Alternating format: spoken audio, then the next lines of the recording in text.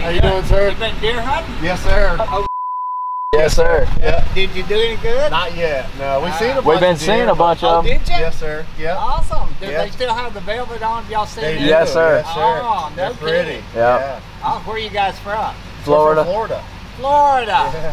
Oh man. Long ways away. it's a long way. That's right. Man, We some, go down in the wintertime, not fishing. Uh, Oh, do hunt. ya? where you fish at?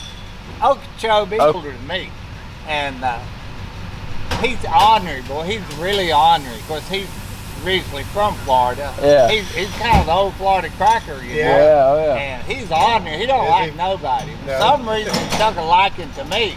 you And he takes me hog hunting, Does he? fishing. Yeah. Cool. that's a good deal. We deal. have a big time. We really do. Here on Awesome. Great. Yes, sir. Good luck, guys. Appreciate Hope it, y'all man. have good luck. Thank you, Yes, sir. Y'all be safe in your travels. Yes, sir. You too. He was a good dude, huh? I